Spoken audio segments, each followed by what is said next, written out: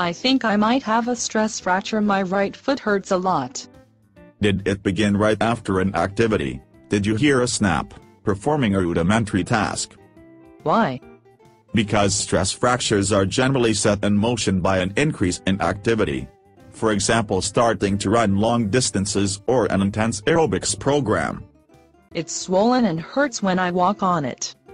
That is indicative of a stress fracture the swelling and walking on it. What should I do?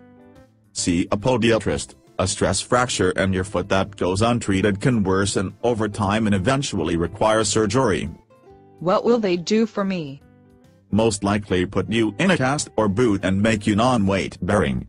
But most importantly they will take an x-ray to confirm that you have a stress fracture. So all I have to do is call a podiatrist. Exactly most podiatrists will get you in right away if you say you think you have a fracture.